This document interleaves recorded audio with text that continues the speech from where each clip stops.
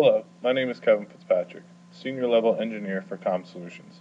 Today I will be reviewing how to install the Virtual Storage Console for NetApp within a VMware environment.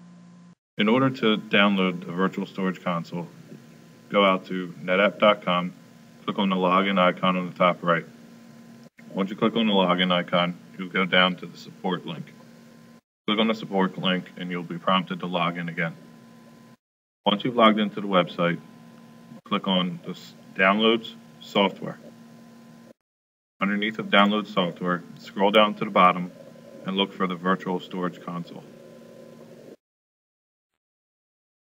You'll notice on the right hand side you have an option as to which format you would like to download. You can download the Citrix Xen server or the VMware vSphere.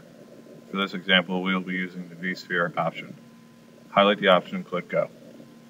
You'll notice on the next page that there's two options to download, the 2.12 or the 4.0. We'll be utilizing the 2.12 since it is the most recent. Click View and Download. On the following page, you'll have the option to download the software. As you scroll down to the bottom of the page, you'll see the Continue link. Click on the Continue, and you'll be, you'll be prompted with the End User License Agreement. Read through the license agreement, click Accept.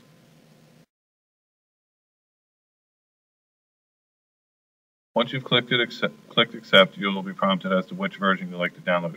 I will be installing this on a 64-bit operating system, so I've selected the 64-bit OS. Once the software is downloaded, you can go ahead and right-click on it and run as administrator. The installation process will begin. Once the initial screen has appeared, you may go ahead and click the next icon. Go ahead and accept the terms. Click Next. We'll go ahead and install the provisioning and cloning as well as the backup and recovery console components as well. Check the boxes off and click Next. Once you've selected the directory, say OK. Click Next and go ahead and install the product. Once the install is finished, you can go ahead and click on Finish.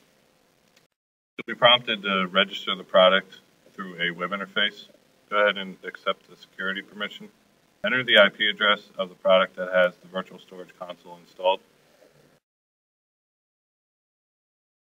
In the below section, enter the IP address of the vCenter server and the credentials in order to log into it. Go ahead and click register.